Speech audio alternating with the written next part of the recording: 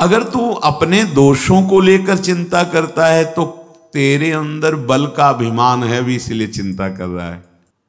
प्रभु का भक्त होकर के किसी भी विषय पर चिंता करना मेरे विश्वास की कमी झलकाता है। तेरी बड़ी भारी गलती हो रही कि तू मेरी शरण में आकर भार अपना अपने सिर पर ले रहा है। तेरे भाव, तेरी वृत्तियाँ, तेरा आचरण शुद्ध करना मेरा काम है। शरणागत होने के बाद भक्त को लोक परलोक सरगति दुर्गति, मान, अपमान, इनकी कोई चिंता नहीं करनी। शरणागत को मन, बुद्धि आदि की अशुद्धि की भी अब चिंता नहीं करनी। कि हमारा मन, बुद्धि तो शुद्ध नहीं है। कभी चिंता नहीं करनी। ज़िंदगी भर जिसके लिए सावधान और डरता रहा।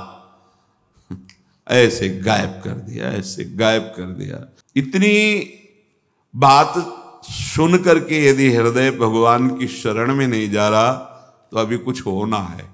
जो भक्तजन है वो बस इतना देखते राज़ी हो आप? बस। जो ही जो ही प्यारो करे सोई मुहिबा आप राज़ी हो? भारी दुख दे रहे हो? राज़ी हो? हम राज़ी हैं क्योंकि अब हमारा कुछ रह ही नहीं गया। आपका है। बिक जाते हैं, भगवान बिक जाते हे। सखुबाई बनकर भगवान बन गए और सखुबाई को मुक्त कर दिया। कैसे लीला बिहारी है?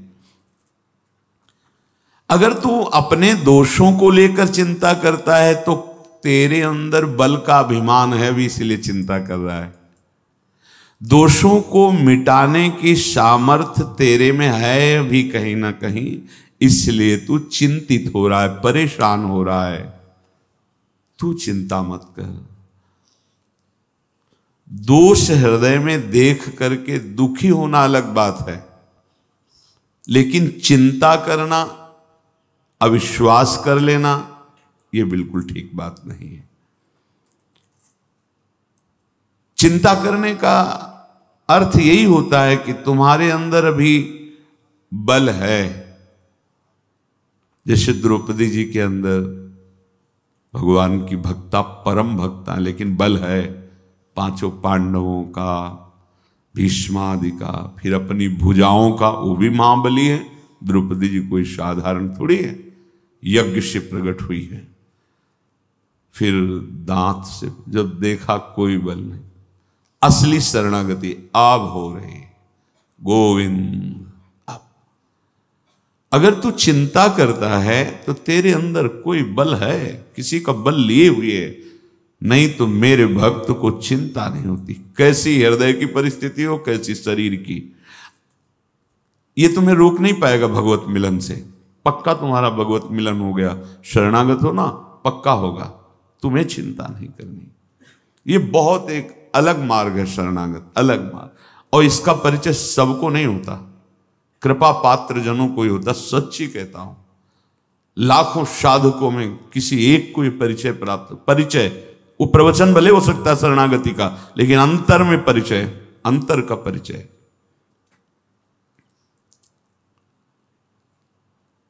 प्रभु का भक्त होकर के किसी भी विषय पर चिंता करना मेरे विश्वास की कमी झलकाता है। भगवत विश्वास की कमी झलकाता है।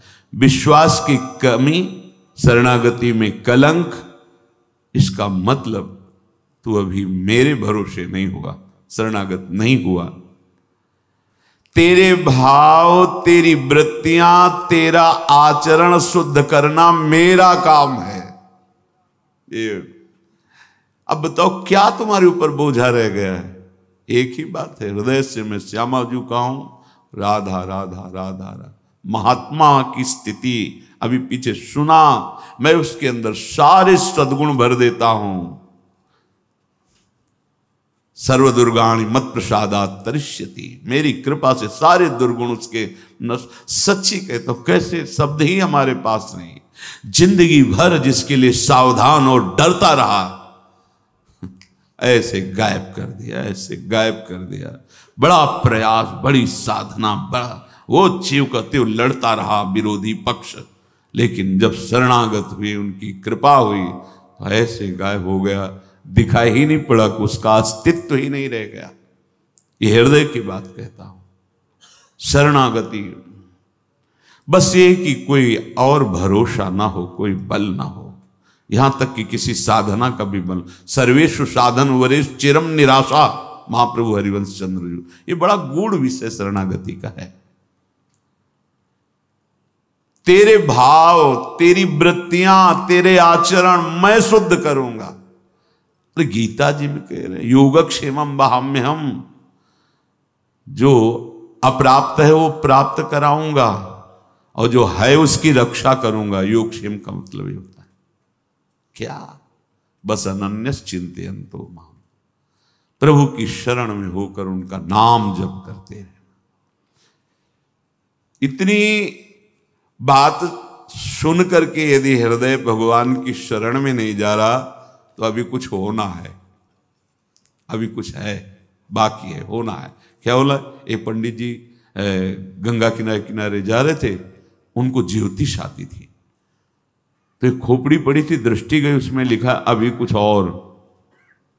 उनका मर गया, जला दिया गया, खोपड़ी है स्मशान में। अब क्या इसमें है?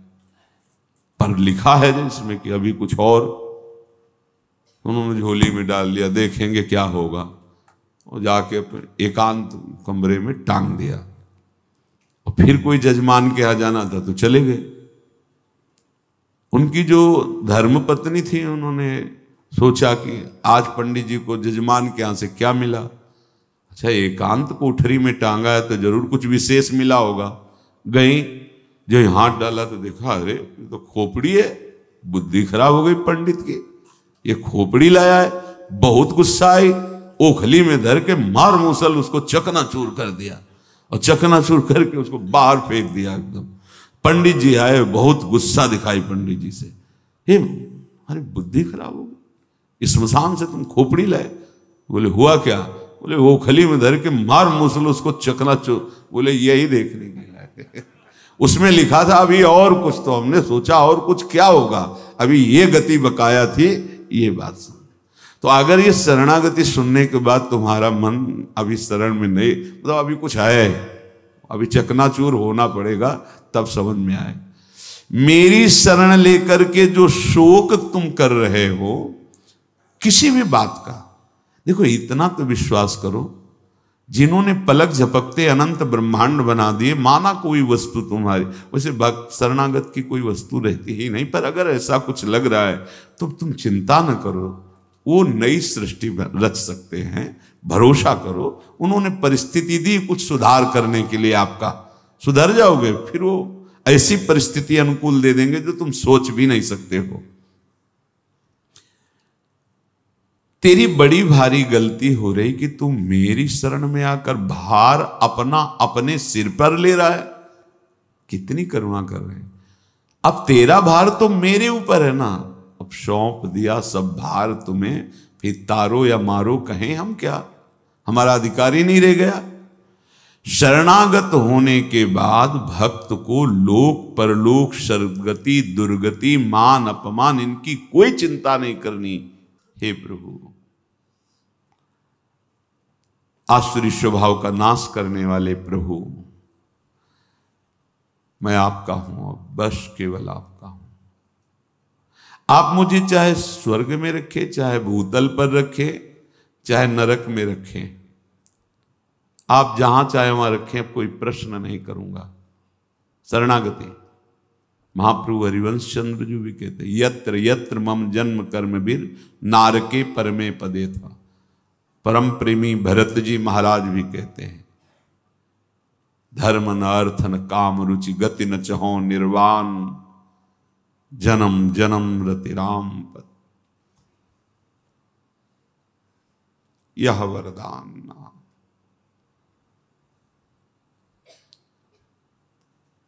सीताराम चरण रति मोरे, अनुदिन बढ़े, अनुग्रह तोरे। बस रात दिन हमारे प्रीतम की। प्रेम वृत्ति बढ़े, बस नरक में रखो, स्वर्ग में रखो, कोई चाह नहीं। एक समझो, भक्ति को समझो, शरणागति को समझो। जो कुछ करना चाहो, स्वच्छंद हो, करो।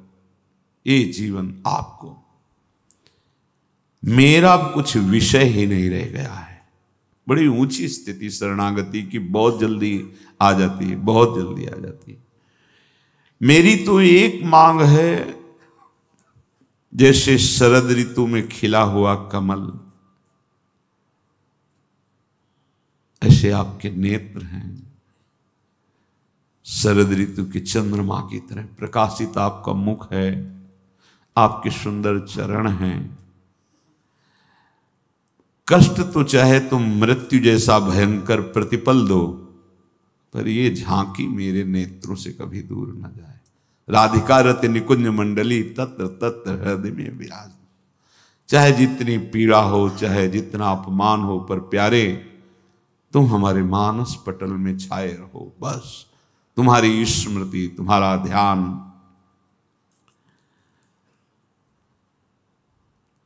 शरणागत भक्त निश्चिंत होता है। कोई चिंता नहीं। पक्का। कदम कदम पे प्रभु की कृपा का अनुभव उसी को होता है, जो ऐसे होता है। कदम कदम पे व्यवस्था। आप समझते हो कि गृहस्थ हैं, हम ऐसे नहीं गृहस्थ विरक्त, ये दो मार्ग हैं, पर दोनों मार्ग एक ही जगह जाकर पूर्ण होते हुए श्री भगवान। जैसे तुम्हें मथुरा विश्राम घाट में यमुना स्नान करने को मिला और कोई वृंदावन जुगल घाट में पर यमुना जी तो वही हैं। यमुना जी में तो अंतर नहीं। ऐसे ही गृहस्थ मार्ग से चलते हुए भगवत प्राप्ति और वैराग्य मार्ग एक ही भगवान मिलते हैं। कोई अंतर नहीं। और भगवान का मिलना ऐसा नहीं होता कि उसको अधिक, इनको कम, ऐसा नहीं है। वो संपूर्ण रूप से मिलते हैं जिससे मिलते हैं। निश्चिंत हो जाओ शरणागत हो। एकदम मस्त। जब तुम्हारी वृत्तियाँ तुम्हारा ऐसा तो तुम विचार मेरा क्या है? हम्म, राधा राधा राधा मैं तो श्री जी का हूँ। यही चिंतन उन वृत्तियों को नष्ट कर देगा। जब तदात्म हो जाते हो भगवत विस्मरण हो जाता है देह भाव पुष्ट है तो फिर नष्ट हो जाते हो। ध्यान से सुनो, निश्चिंत होता है शरणागत भक्त। जब भक्त अपनी मानी हुई वस्तुओं सहित अपने तन, मन, प्राण सब कुछ प्रभु को समर्पित कर देता है तो उसको फिर लौकिक, पारलौकिक किंचन मात्र चिंता करने का अधिकार नहीं रह जाता। अर्थात मेरा जीवन निर्वाह कैसे होगा? मेरे तो कोई साथी नहीं है, सब विरोधी हैं, क्या होगा? मेरी दशा क्या होगी? मेरी गति क्या होगी? क्योंकि मेरा स्वभाव ठीक नहीं, मेरे आचरण ठीक नहीं, मेरा भाव ठीक नहीं। अब ये चिंताएँ बिल्कुल नहीं करनी। प्रभु शरणागति के भाव को देख करके उसकी चिंता करते हैं। किसकी? शरणागत। तो चिंता दीन दयाल को। तो अब मो मन सदा आनंद। जायो सो प्रतिपाल सी। रामदास गोविंद। जिसने मुझे जन्म दिया आकर्षण करके अपने मार्ग में लाए। सारा भार उनके ऊपर है। अब तो मेरा मन आनंदित है। अब कोई चिंता नहीं। क्या चिंता कर? आप संभालो आपकी माया, आपके हम, आप संभालो। हमारा कर्तव्य हर समय नाम जप करते हुए हृदय से आश्रित रहना। प्रभु के शरणागत भक्त में ये एक बात आती है कि मेरा जीवन प्रभु के लायक नहीं है। मैं इतना शुद्ध नहीं हूँ, दिव्य नहीं हूँ। मेरे ऐसे आचरण भी नहीं है। मेरी वृत्तियाँ भी ठीक नहीं हैं। मैं बहुत बड़ा दोषी भी हूँ। मेरे मन, बुद्धि, इंद्रियाँ, शरीर आदि, ये मेरे अधिकार में नहीं रह गए मन मानी सब। पर मैं हूँ तो प्रभु का। अब वो देखें। हो हारे कर जतन विविध विधि अतिशय प्रबल अजय। बहुत नहीं, तुलसीदास बस होए तमें जब प्रभु पेरक रोक दो प्रभु, इनको अगर रोकना चाहते हो। सारा भार आपके ऊपर, अब कुछ नहीं बोलूँगा। आप देखो, हमारा बस खत्म। हम तो बस राधा राधा रटेंगे। आप देख लेना आप अपनी कैसी दिव्यता जीवन में आपके आती अपनी स्थिति देख लेना। अब तो मैं प्रभु के शरण हो गया, अब इन पर मेरा कोई अधिकार नहीं। मन, बुद्धि आज मेरे रहे ही नहीं तो मुझे चिंता क्या? ऐसा है क्या? देखो ना, शरणागति अभी ठीक से, नहीं हुई है। शरणागत को मन, बुद्धि आदि की अशुद्धि की भी अब चिंता नहीं करनी। कि हमारा मन, बुद्धि तो शुद्ध नहीं है, कभी चिंता नहीं करनी। किसी कारणवश अचानक यदि गलत भाव आ गया है तो आपको केवल आर्त भाव से कहना, प्रभु, ये आपकी सब संपत्ति है और इसमें चोर घुस रहे हैं, काम क्रोध लो। देखो देखो, आप रोक लो तो रोक लो, मेरे में तो सामर्थ्य नहीं है। बस पुकारना है, आपने पुकारा। अब आपको नहीं देखना सही हुआ कि नहीं सही हुआ। फाइनल सही होगा। ये वकालत की बात है आंतरिक। हाँ फाइनल सही होगा। ये सबके बस की बात नहीं समझ ले जो बात कह रहे यद्यपि भक्त अनन्य जो विषय इंद्रियन बस होए, कर्मठ कोटि जितेंद्रियन तेषम लायन को पर इसमें नाटक नहीं चलेगा, ये सच्चाई की बात है अंदर की। वो अपने स्वामी को देखता है। आप में कोई बल की कमी है? देखो, ये आ रहे हैं ऐसा। आप देख लेना। हम तो पड़े हैं निश्चिंत, देख लेना आप। वो सब देख लेंगे।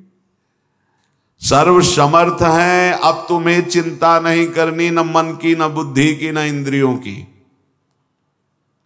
जो कह रहे हैं कि माँ सुचा सर्वदुर्गाणी मत प्रसादात तरिष्यति। क्षिप्रम भवती धर्मात्मा, मैं उसे धर्मात्मा बना देता हूँ, मैं उसे महात्मा बना देता हूँ। बनाओ महाराज। हमारा जीवन अब आपके भरोसे, राधा राधा राधा। देखो ना, कृष्णदास जी को वामपंथियों ने पकड़ लिया, अपने पक्ष में कर लिया, महाप्रभु ने छुड़ाया नहीं, अपने साथ ले। परम गति को प्राप्त हुआ। तो हमको तो लेस जा सकते हैं, काम क्रोध, लोभ, मोह, मद, मत्सर। पर अब हम नहीं है, हम सहित हमारा आपके नाम कर दिया। अब देखना आप। आप ही को छुड़ाना पड़ेगा, आप ही को संभालना पड़ेगा। बहुत सुंदर बहुत सुंदर बात है हृदय में आ जाए। प्रभु के चरणों में जो अपने आप को समर्पित कर चुका है, अब उसे चिंता नहीं करनी चाहिए। किस परम गति मिलेगी, तुम चिंता मत करो। दो बातें तुम्हें पकड़नी हृदय से आश्रय, भरोसा और नाम जप। प्रभु की भी शरण में हो और अपनी चिंता भी करते हो, तब तो ये विरोधी बात हो गई। अभी शरणागति, समर्पण ठीक नहीं हुआ। शरणागत में चिंता कैसी? शरणागति कैसी यदि तुम्हारे हृदय में अपने प्रति कोई चिंता रह गई? कैसे निश्चिंत है महाभागवत जन? बड़े से बड़ी परिस्थितियों में निश्चिंत है। शरणागत को ऐसा सोचना चाहिए कि जब प्रभु ने कह दिया है कि संपूर्ण भार मेरे ऊपर तो अब मेरा क्या? देखो आप, देखो। मेरी वृत्तियों को ठीक करना, मन को रोकना, बुद्धि को सही निर्णय कराना, आपकी जिम्मेवारी। जब आप ऐसा भार छोड़ देंगे, वो संभाल लेंगे, जैसे अर्जुन का रथ संभाला, पक्का संभाल लेते हैं। आपको विश्वास नहीं होगा। कभी कभी हम सत्संग सुनते हैं प्रश्न का उत्तर सुनते हैं। तब सुन के लगता है मैं कहीं नहीं बोल रहा हूँ, सच्ची कहता हूँ। उस समय वो जवान पे बैठ के उत्तर देते हैं। वो हृदय में बैठकर चिंतन करा के, सत्संग कराते हैं। हम भी सुन रहे हैं, जैसे तुम श्रोता हो वैसे हम भी श्रोता है। ये शरणागत का संपूर्ण, वो कभी भी कहीं किसी ऑफ़िस में बैठकर बोल सकता है, वो ऐसे। पर वो वहीं बैठता है जहाँ पूरा अधिकार दे दिया गया है कि ये आपके नाम। वृत्तियों को अपना मानने से कभी वृत्तियाँ शुद्ध नहीं होती। वृत्तियों को भगवान के समर्पित करने से शुद्ध हो जाती हैं। शरीर, इंद्रिया, प्राण, मन, बुद्धि, ये जब तक अपना मानोगे कभी शुद्ध नहीं होंगे। प्रभु को समर्पित कर दो शुद्ध हो जाएँगे। शुद्ध होने का उपाय। दूसरा है शरणागत भक्त निर्भय रहता है, कोई भय नहीं रहता। भय उसको होता है जिसके आचरण बहुत गंदे होते हैं, वो बहुत भयभीत रहता है। और अभिमानी है, देहाभिमानी, भययुक्त रहता है। जैसे जैसे पापाचरण होते हैं, वैसे वैसे भय उसका अंदर। दूसरा भय होता है बाहर का, शत्रु का सांप, बिच्छू, भूत, प्रेत, जो भयावह वस्तुएँ उनका। शरणागत को ना भीतर का भय होता है, ना बाहर का भय होता है। एक बार सेनपुर में थे, बहुत वहाँ बहुतायत थी, सर्प भिक्षु ऐसे, नील गाय, खरगोश, ऐसे, बहुत से सब जीव जंतु विशाल जंगल मतलब बहुत मोटे मोटे ऐसे वृक्ष के एक एक बीघा में बट वृक्ष। ऐसे हमने कदम नहीं देखे जैसे वहाँ विशाल कदम, गंगा जी का किनारा और ऐसा जंगल के बस थोड़ा रास्ता निकलने का ऐसे। तो वहाँ बीच जंगल, बहुत वृक्षावली ऐसे तो एक विशाल अशोक का वृक्ष। मतलब तीन चार सौ आदमी बैठ सकते हैं उस अशोक वृक्ष के नीचे। ऐसा जैसे आम का बरगद, ऐसे विशाल और छोटी सी पर्णकुटी ऐसे तो उसी में आसन में बैठे। बस देखा कि दो फणधारी सांप ऐसे सामने आए और वो खेल रहे थे ऐसे ऐसे लिपट के। एकदम मन में भय प्रकट किया आप बिल्कुल नज़दीक आ चुके हैं। अगर ये काटना तो फिर काट सकते हैं। अगर इनको काटना होगा तो कभी भी कहीं भी काट सकते हैं, क्योंकि सत्य है, अगर इनका विधान है तो और नहीं काटना तो नहीं काट खेलते रहे कुटिया में थोड़ी देर बाद चले गए। ना बाहर कब है? सर्प, भिक्षु, भूत, प्रेत, विषाद, किसी। ना अंतर कब है? क्योंकि उसको पता होता है कि भगवान की शरण में वो हर समय। है नहीं तो भयभीत करने के बड़े अवसर आते हैं, पर भक्त कभी भयभीत, निर्भय रहता है। क्योंकि उसे पता है, मेरे भगवान मेरे आसपास हैं, यही हैं। ज़रूरत नहीं है, इसलिए दिखाई नहीं दे रहे हैं। अभी अगर तो अभी दिखाई दे देंगे। अभी बहुत बहुत बार ऐसा अनुभव हुआ है। पर वो नेत्र सही ना होने के कारण अपने लोग समझते हैं इस व्यक्ति ने बचा लिया। इसने कर लिया। इसने हर जगह इधर से हम शाम के दर्शन करने के लिए जब जाते थे, मस्ती से जा रहे थे पद चिंतन ऐसे गुनगुनाते हुए एक किनारा लिए हुए इस साइड का। एक आदमी मदिरा पिए हुए था, मोटरसाइकिल ऐसे। वो ऐसे मतलब भगवान की लीला थी। वो दोनों पैरों के बीच में पहिया ऐसे और रफ्तार से थी एकदम ऐसे, एकदम श्री राधा। अब हमारे पास तो कोई मोटरसाइकिल बल तो कहा, भैया, आप ये क्या कर रहे हो? आप अपने मार्ग में जाए। बोलने का तरीका समझ और गंध आती है। तो बोले, पहले ये बता तो मोटरसाइकिल कैसे बंद हो गई? हम कहा, हमें पता नहीं तो कैसे बंद राधा ऐसे किए ना बाहर से भय, ना अंदर से। वो कर तुम, अकर तुम, अन्यथा कर तुम। वो ईश्वर आपके साथ है। तुम शरणागत हो। भक्तन पाछे यो फिरत जो बछरा संग गाय। प्रारब्ध भोग आया था। मान लो ना बंद होती तो अब वो तो नशे में था। कुछ ना कुछ ऐसा नहीं होने दिया। अगर हमारे हृदय में भगवत शरणागति तो भय नहीं होना चाहिए, जैसे कोई कह जाए कि अब हम देख लेंगे तुम्हें। हम यह देख लेना। देख लेना आप आराम से देख लेना। नहीं लोग किसी को जैसे भयभीत करना चाहते हो फिर हम देख लेंगे। हाँ देख लेना भैया। प्रभु हैं हमारे। अगर वो चाहते कि शरीर को पीड़ा मिले तो ज़रूर मिले। अगर वो नहीं चाहते तो तेरी क्या ताकत है? काल की भी ताकत नहीं, क्योंकि भगवत समर्पित जीवन है।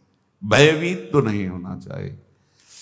बाल्यावस्था से निर्भयता तभी आई है जब असंग रह करके केवल एक ईश्वर का, कि उनका विधान परम सत्य होता है। वही होगा जो ईश्वर चाहता है। इस तो अनुभव में आया उनकी कृपा, उनका दुलार। सबसे बड़ा भय मृत्यु है। लेकिन जो भगवान का भक्त होता है, वो मृत्यु से भी अभी कई बार सत्संग होता है, जैसे विशाल हाथी के गले से रायबेल की माला टूट के गिर जाए, हाथी को पता भी न चल, ऐसे भक्तों की मृत्यु रूपी लीला होती है। ये भय, ये बड़े बड़े विघ्न बड़े बड़े ग्रह नक्षत्र उसी को परेशान करते हैं, जो भगवान आश्रित नहीं है, भगवान की भक्ति नहीं करता, भगवान नाम जप नहीं करता। बहुत लोग भ्रम में जी रहे हैं। बड़े भ्रम में जी रहे हैं। अरे, एक बार मूल में जल चढ़ा दो, पूरे वृक्ष में पहुँच जाएगा। तथा न ते माधव तावका क्वचित। भ्रश्यंति मार्गा त्वयि बद्ध सौहृदा। त्वयाभिगुप्ता विचरन्ति निर्भया। विनायकानी कप मूर्धस प्रभु।